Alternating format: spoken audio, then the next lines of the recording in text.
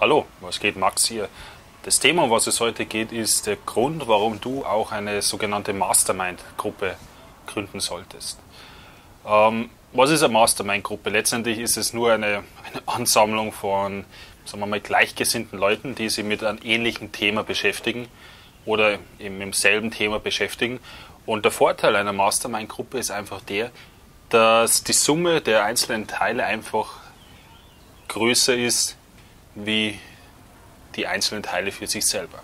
Und du vielleicht weißt, also Persönlichkeitsentwicklung und all die Dinge, die was man macht, also man beschäftigt sich eben mit, seinen eigenen, mit seiner eigenen Seele, mit seinem eigenen Charakter.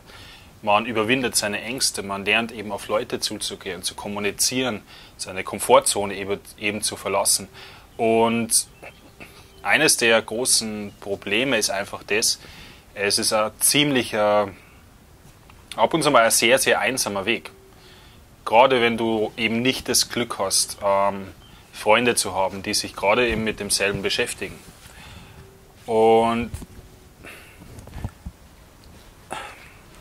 und ebenso, wenn du eben keine Freunde hast, die sich damit beschäftigen, der Herrgott, scheiß Teil, dann, dann solltest du dir halt Leute suchen, die sich damit beschäftigen. Und jetzt ist das eben das große Problem, dass wie bildest du quasi so eine Gruppe an Leuten, die sich eben mit demselben Thema beschäftigen, zum Beispiel eben Persönlichkeitsentwicklung?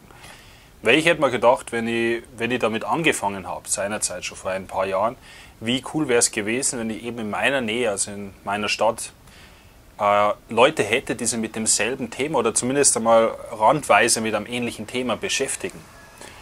Und wie viel hätte mir das geholfen? Weil, wie gesagt, Mastermind-Gruppen haben, haben einige große Vorteile und über die möchte ich dann eben auch noch reden.